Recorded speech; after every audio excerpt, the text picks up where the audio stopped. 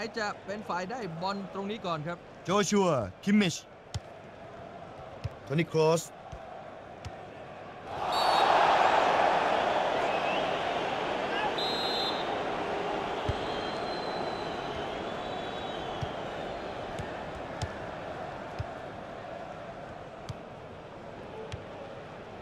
นะเปิดลูกนี้มาได้สวยแล้วครับป้องกันที่ดีเยี่ยมมากครับอ่าแล้วลูกนี้ เขาสกิดบอลไปโดนผู้เล่นกองหลังออกนะครับ ได้เป็นลูกเตะมุมแล้วครับ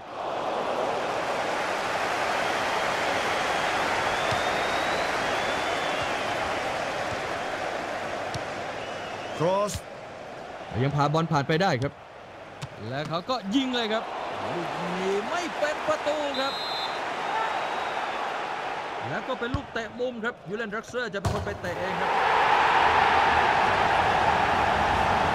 อะไรมันก็เกิดขึ้นได้นะครับจังหวะแบบนี้